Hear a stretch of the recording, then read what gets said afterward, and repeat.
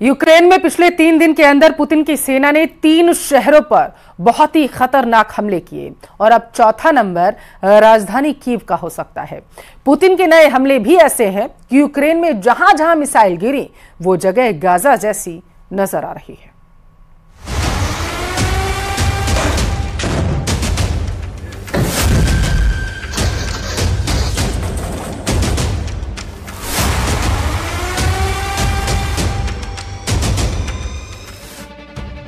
ये ना तो गजा है, ना वेस्ट बैंक है, ना ही लेबनान का कोई गली मोहल्ला है। ये इस वक्त दुनिया का सबसे खतरनाक वॉर जोन यूक्रेन है। ये यूक्रेन का लवीव शहर है। ये जेलेंस्की का सबसे सुरक्षित किला है। ये यूक्रेन की तरफ़ से पोलैंड, यानी नेटो की तरफ़ जाने वाला एंट्री गेट कहा जाता है, और ये शहर जल रहा है। पुतिन ने तीन दिन के अंदर तीन बड़े हमले किए हैं। पहला हमला डोनेस के पास पोक्रस्क पर, दूसरा हमला खारकीव के पास पोल्तावा पर, और तीसरा हमला पोलैंड के दरवाजे लवीव पर किया है। यानी पुतिन ने अपने प्रहार में पी फैक्टर दिखा दिया है। अब दिन में देखिए लवीव का हाल।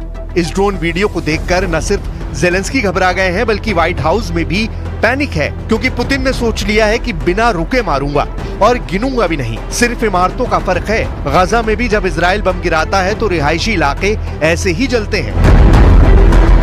इसे आप पुतिन का गुस्सा कह सकते हैं। इसे आप पुतिन का बदला कह सकते हैं। इसे आप पुतिन का प्रहार कह सकते हैं। पुतिन बता रहे हैं कि यूक्रेन का कोई इलाका, कोई कोना ऐसा नहीं। जहां उनकी मिसाइल नहीं पहुंच सकती इस हमले में सात लोगों की मौत हुई है जिसमें तीन बच्चे हैं तीस से ज्यादा लोग घायल हैं सत्तर से ज्यादा इमारतें तबाह हो गई हैं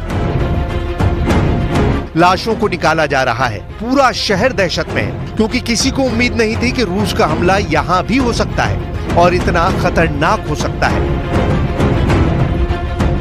Троє з них це діти, сім це малі діти. Дуже великі руйнування, більше 70 будинків по місту. А, Це все є історична спадщина. Тривають е, розбори завалів. लवीव के बाद पुतिन का दूसरा टारगेट देखिए ये है पुलतावा पुलतावा पर हुए मिसाइल हमले में इक्यावन लोगों की मौत हो चुकी है 275 लोग घायल हुए हैं ये शहर खारकीव के बाद पुतिन के लिए सबसे बड़ी रुकावट बन सकता है इसीलिए रूस ने पुलतावा पर अचानक दो बैलिस्टिक मिसाइल से हमला किया देखिए इन बिल्डिंग्स का हाल लगता है ना गजा जैसा इलाका इमारतें जल रही हैं पूरा इलाका खाली हो चुका है और ये हाल दो बड़े मिसाइल अटैक के बाद हुआ है І передусім щодо трагедії в Полтаві, рятувальні роботи зараз ще тривають, розбирають завали, залучені всі служби. Станом на цей час кількість поранених 271. Усім надається необхідна допомога. Мы видим уже прямую вовлеченность Запада в конфликт на Украине. Э, Коллективный Запад является буквально главным заказчиком, главным подстрекателем военной агрессии киевского режима и все более откровенно, все более нагло демонстрирует свое прямое участие पुलतावा वो शहर है जो अभी युद्ध की फ्रंट लाइन पर नहीं है लेकिन खारकीव के करीब है और यही वजह है कि पुतिन ने यहाँ मोर्चा खोल दिया है वो यहाँ पर ऐसी मिसाइलों से हमला कर रहे हैं जिसे रोकना जेलेंस्की के बस की बात नहीं मानी जाती। यूक्रेन के रक्षा मंत्रालय ने कहा कि पुलतावा के लिए भयानक दिन रहा।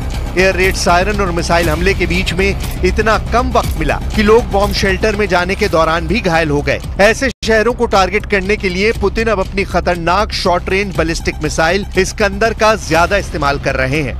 500 किलोमीटर रेंज वाली इसकंदर मिसाइल जहाँ गिरती है, वो 700 किलो वाले विस्फोटक से धमाका करती है। इस मिसाइल से यूक्रेन में सबसे ज़्यादा हमले अंजाम दिए गए हैं।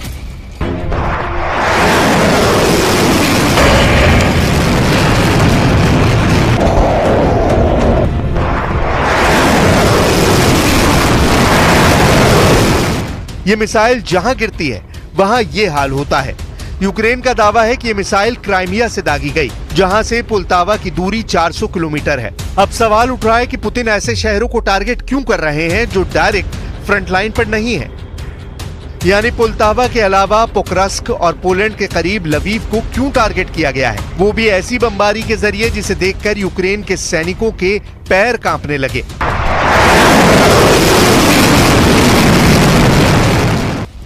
रूस अब छोटे शहरों पर बड़े हमले क्यों कर रहा है तो इसका जवाब सारातोव में हुए अटैक से मिल सकता है। 26 अगस्त को यूक्रेन के ड्रोन ने रूस के सारातोव में एक बिल्डिंग पर हमला किया था। जेलेंस्की का ड्रोन रूस के सारातोव शहर में पहुँचा और फिर इस रिहायशी बिल्डिंग से जा टकराया। इस बड़े धमाके ने मॉस्को तक रूस को हिला दिया था। एक बार फिर देखिए किस तेज़ी से ये ड्रोन बिल्डिंग की तरफ़ बढ़ा और फिर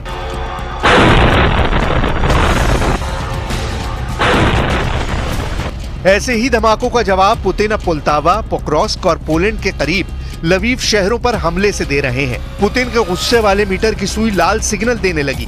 अब आप कह सकते हैं कि पुतिन का अटैक मीटर लाल सिग्नल दे रहा था। पुतिन ने सारातोव में हुए हमले के बाद अपनी वॉर बैटरी फुल रिचार्ज की और बता दिया कि रूस वक्त आने पर कैसा जवाबी हमला करता है।